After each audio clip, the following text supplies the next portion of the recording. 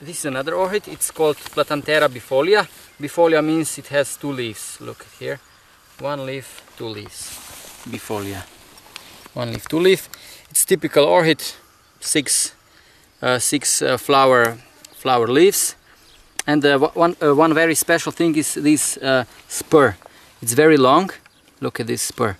It's very long, and uh, and it, it, it is it is used for from one. Um, special species of butterfly with a long um, with a long um, organ to suck this suck this um, nectar. And if you look at the bottom of the spur you see the nectar is moving. Look. Look how the nectar is moving here. Look. Mm. uh -huh. look and it's if you if if you take this down and you you can you can take the nectar out and if you try it it's it's very very sweet. Look here this nectar.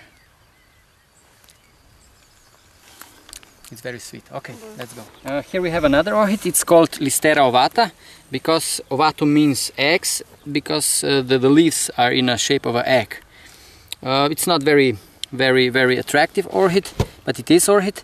And uh, this orchid is um, very common through all the Slovenia this is one of the four more, most common orchids in Slovenia. Uh, but I read some articles that this orchid can be used to produce some um, some um, medicine, some drugs for the HIV, for, for the HIV, for AIDS. Um, so maybe this orchid has some potential. Uh, here we have uh, one very special, again, very special orchid. It's called Dactylorhiza maculata subspecies transylvanica, or simply just Dactylorhiza transylvanica. As, as, as, as, as uh, the name tells, it's, it's called after the, the, the Romanian region Transylvania, but it should be called Dactylorhiza slovenica because the first time this orchid was put into herbarium or um, seen was in Slovenia.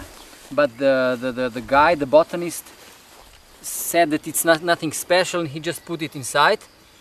Uh, and uh, maybe 20 years later, one another botanist uh, found it in, in Transylvania and he named it after Transylvania. So it's Transylvanica, it should be Slovenica. And it's very, very, uh, in, and it is very uh, common in, in this part of Slovenia, in southeastern part of Slovenia, uh, in Bela Krajina, almost uh, all the way, uh, almost on the other side of both sides of the river Lahinja. But uh, last week we also find a couple of species on on ski slopes in, on on Gače. So, and it, and, and it grows close to the to the marshes because behind of us there are marshes and uh, the, the, this grassland is a kind of mix. Sometimes it's it's dry and sometimes it's not so dry. So this orchid likes mixture of everything. Here we have another orchid. It's called uh, Anacamptis pyramidalis.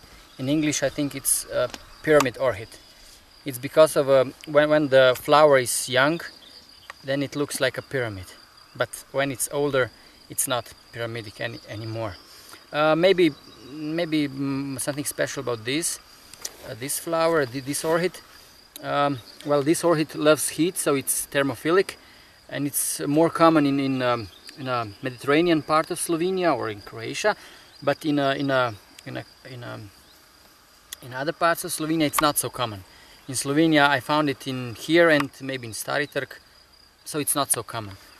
Uh, well, Bela Krajina as a whole is, is very special because it's very uh, because uh, the, the, the nature is not uh, polluted. And uh, especially it's special for the for the botanists because it's not very explored.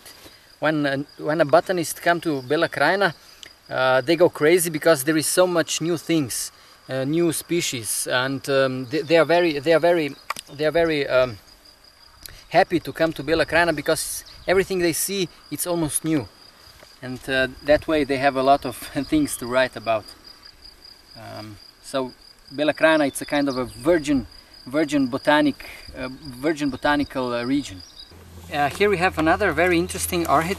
It's very small, not attractive, it's green.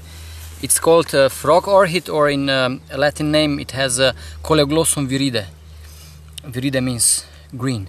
Um, interesting, uh, the, the, the, interesting thing about this orchid is that this orchid usually grows on a higher, higher elevations. Uh, for, in, for instance, on a ski slope Gače, there is a lot of this orchid, and especially in the Alps. Um, and strange thing is because here it's quite low, it's 150 meters above sea level, and we find it here. But it's not very, very attractive, but it's orchid, very small. Uh, this orchid is uh, Dactylorhiza incarnata. It's uh, it's one of the few species that grows only in a in a very very wet wet uh, grassland.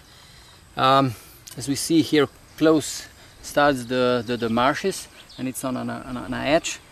Uh, in in Bela Krajina, it's quite quite common because it grows where there are marsh, marshes, it's, it's, it's uh, this orchid it's growing.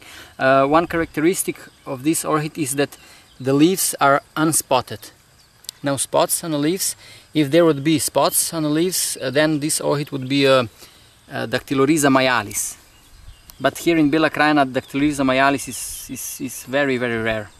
I have actually I have never seen Dactylorhiza majalis in Bela Krajina. Mm -hmm. It's typical Dactylorhiza typical Dactylorhiza uh, with, with a big, these inner leaves. See these leaves, they are very big. Um, in Bela Krajina we also have uh, Dactylorhiza sambucina in, uh, in, uh, in a slope Gače. Then we have Dactylorhiza transylvanica, uh, maculata and Dactylorhiza fuchsii. Um, those are very, very, very common.